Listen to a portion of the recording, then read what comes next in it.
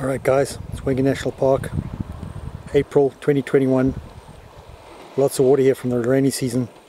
Got some young elephant bulls here just enjoying. In the fresh clean water of Mopani Pan, not far from Mfagazan. Really beautiful part of Hwange National Park at the moment with all this rain we've had and the elephant are just loving it.